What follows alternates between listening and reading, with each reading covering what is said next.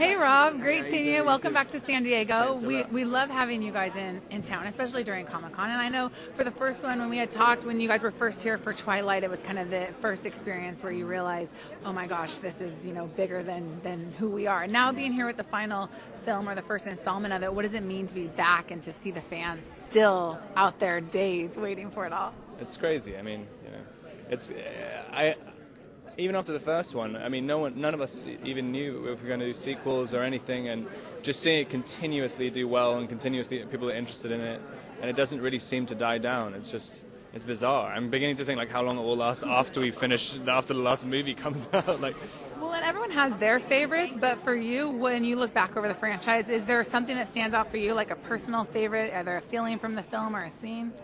Um, I mean, the first one's always going to be like you know, it, it, it, was such a different movie making experience. The last time I kind of made something where um, there weren't tons of crowds and stuff, and just the idea we were making, we are playing the same characters, but in a completely different context. Then, I mean, it just seems totally crazy. We felt like we were doing a little indie movie the first one, so it's yeah, it'll always hold a special place.